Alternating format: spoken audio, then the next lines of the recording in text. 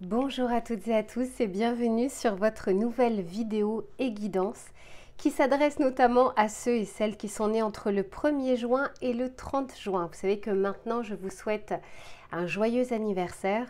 Euh, donc là il me semble que c'est la troisième ou quatrième vidéo que je fais.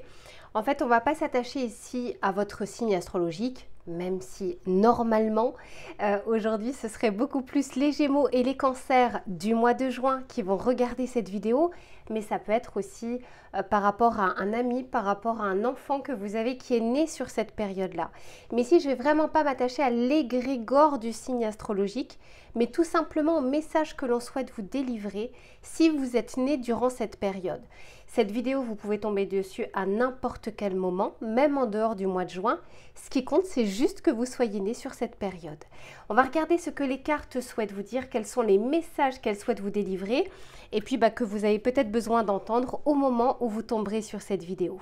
Allez, je coupe une première fois, et puis bah, je vois, j'ai commencé à préparer quelques tarots et oracles.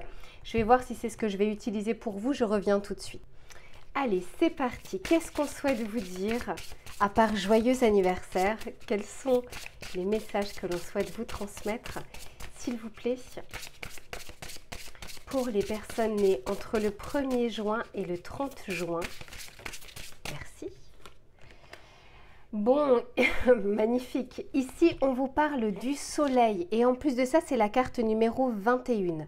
Le 21 dans le tarot de Marseille, c'est le monde c'est un achèvement, il y a quelque chose ici qui se termine, mais qui se termine de manière plutôt positive. Et qu'est-ce qu'on vous dit? Le courage brille en moi, mon rayonnement intérieur s'épanouit. C'est comme si on vous disait qu'il y avait peut-être la fin d'un problème ou d'une problématique ou peut-être même d'une fatigue que vous avez pu ressentir pour laisser place. Ben, je trouve que c'est une carte qui amène l'été.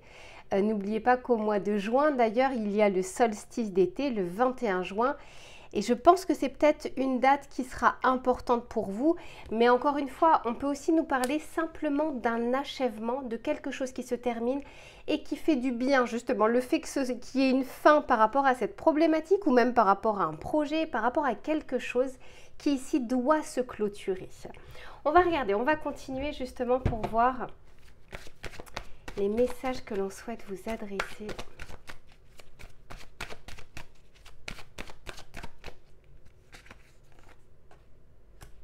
Ouais, pour certains, on me dit que vous vous sentez totalement lessivé, totalement vidé.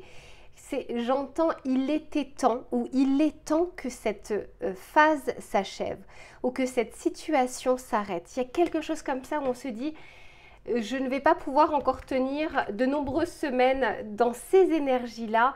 Il y a comme un vide. Et puis, bah, vous voyez ici, on sent au contraire qu'on est plutôt rechargé, ressourcé. Après, peut-être que certains d'entre vous sont en train de prévoir une retraite euh, ou un voyage, quelque chose où vous allez enfin pouvoir souffler un petit peu. Et j'ai l'impression que vous en avez vraiment besoin. Voyez, regardez, c'est fou on passe ici de la carte du vide à la carte ici où on parle de renouveler, en tout cas de quelque chose. Vous voyez, on passe d'un état à un autre en ayant franchi une porte ou un portail, où en fait c'est comme s'il y avait une transition. Et cette transition, bah, vous voyez, elle passe euh, par cet achèvement, par cette clôture, par quelque chose qui se termine. C'est vraiment ce que je vous souhaite. Et je pense que vous en avez besoin, je le ressens ici au moment du tirage. Allez, on continue pour voir les messages que l'on souhaite vous adresser.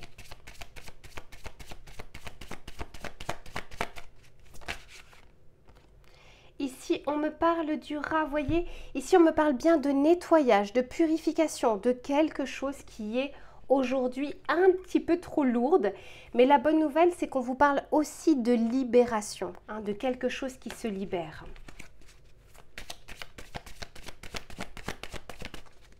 on vous dit de prendre soin de vous. Hein. C'est-à-dire que si pour certains, je ne sais pas, vous terminez un contrat de travail ou vous trouvez une solution à une problématique, ou il y a, je sais pas, un divorce ou un, domaine administratif là qui, enfin, il y a une réponse, il y a une issue, on vous dit de, juste après ça, parce que votre corps et votre tête d'ailleurs ont tenu le coup durant toute cette période, de ne pas oublier ici un moment de vous reposer, hein, de, justement de recharger les batteries.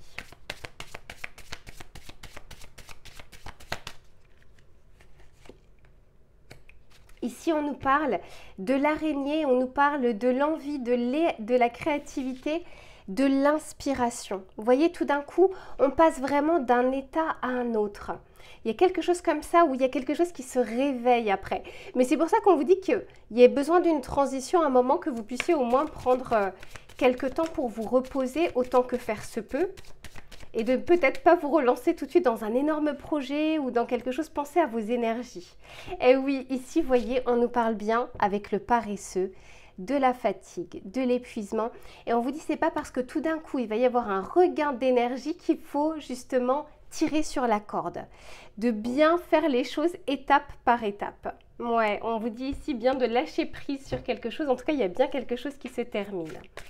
On va continuer. On va voir avec le tarot justement les choses, comment elles évoluent.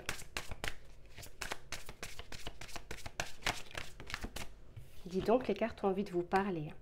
Valet de coupe, eh bien, il y aura un nouveau départ après ça. L'avantage du valet de coupe, c'est qu'il y a comme quelque chose qui renaît, mais au niveau même émotionnel. Il y a comme quelque chose ici euh, qui est rechargé au niveau de l'émotion, au niveau du ressenti. Le valet de coupe, c'est une carte qui est plutôt positive, qui nous parle de début, de prémisse, de quelque chose qui est de bon augure. Donc on passe, vous voyez, d'un vide où on est lessivé, on n'a même plus le temps, où, on, ne ressent même plus les choses tellement on est, on est euh, lessivé, on est sur les rotules.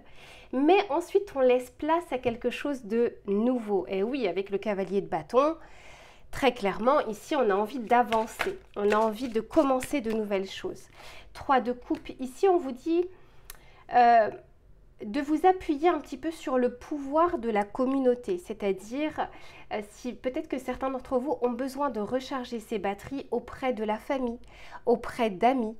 Euh, mais on peut aussi nous parler d'associations, de quelque chose qui lie le collectif. Ça peut être aussi pour certains d'entre vous dans le cadre professionnel d'intégrer l'environnement ou de travailler sur des projets d'équipe ou en tout cas de vous appuyer sur d'autres personnes et vice-versa.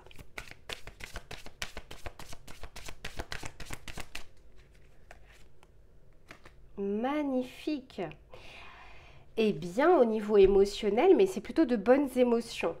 J'ai le valet de coupe, j'ai le 3 de coupe, et j'ai le 9 de coupe. Alors le 9 de coupe, c'est une magnifique carte dans le tarot qui nous parle, voyez, là ici on nous parle un peu d'abondance, mais c'est comme un souhait, un vœu qui est exaucé, comme si vous pouvez enfin accéder à quelque chose. Alors il se peut que pour certains d'entre vous, vous deviez d'abord clôturer quelque chose avant de pouvoir démarrer une autre. Je vous donne typiquement un exemple. Vous deviez par exemple d'abord vous séparer euh, d'une personne avant d'entamer une relation peut-être avec la personne qui est maintenant dans votre cœur. Ça peut être un exemple. Ou alors vous deviez d'abord terminer ce projet au niveau du travail avant de vous lancer dans un projet un peu plus personnel. Vous voyez, il y a quelque chose qui doit s'achever puisque vous n'avez ni le temps ni l'énergie de commencer quelque chose d'autre mais qui vous tient à cœur. Et là, on vous dit, c'est bon, on va clôturer quelque chose pour pouvoir s'atteler à une nouveauté. Magnifique. Et eh oui, derrière, j'ai le valet de bâton. Là encore, valet de coupe, valet de bâton, il y a quelque chose qui reprend vie, qui renaît, qui commence.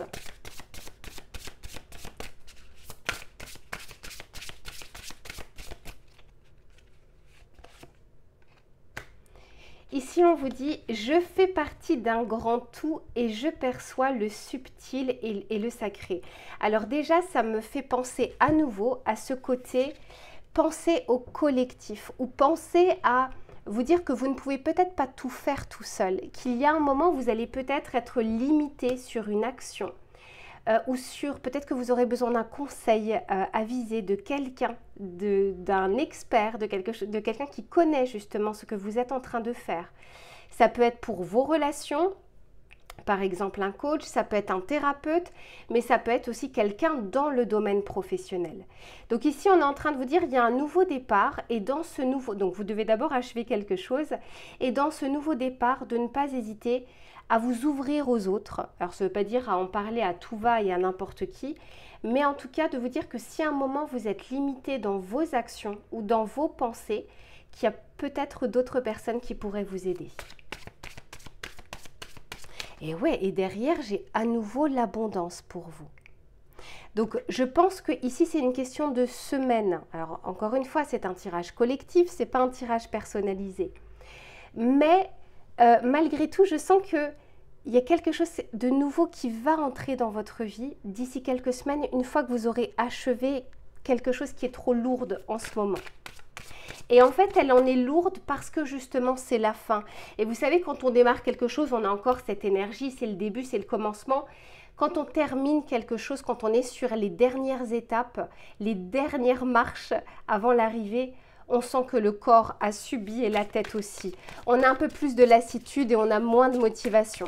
Ce qui rajoute justement à l'effet euh, j'en peux plus.